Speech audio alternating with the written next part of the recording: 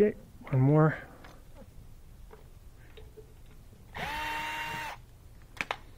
All right, grab your feet here and pull off the bottom plate.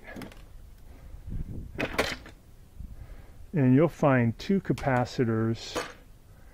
One here, this is called a noise filter capacitor, and then have the run capacitors down here. This one's an aftermarket one. I'm going to switch it out. This one's just been zip tied in place, but usually there's a um, there's a bolt coming out of the back of it that goes through that hole.